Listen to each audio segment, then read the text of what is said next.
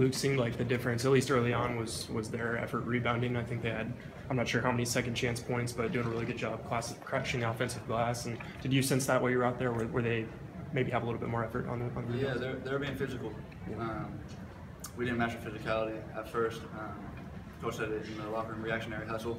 Uh, they came out and they, they punched us in our face. And uh, it's hard to play makeup ball, especially when you're not making shots. So their physicality played a factor it.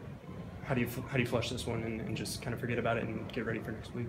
Uh, season's over. I mean, that was postseason. Um, whole new season. Um, just looking to move on, ready to play. Then we got Davis, but ready to play uh, as hard as we can. Looking forward to it. I'm gonna ask you the same question. There were moments in that second half when loose, like seemed like every loose ball wasn't for lack of effort, maybe, but it just bounced, you know, UCSB's way.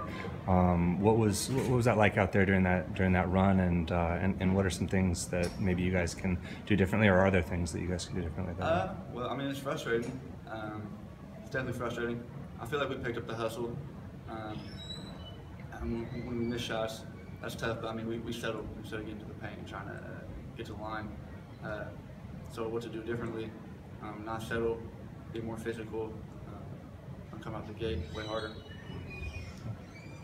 Can we get your thoughts on the UC Davis matchup? Do you guys have a lot of confidence going into that, knowing you already beat them once?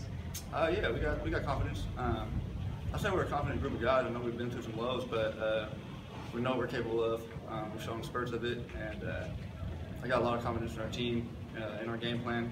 So I'm looking forward to uh, to Thursday. I think we, we have a, a great a great chance. Yeah. Thanks.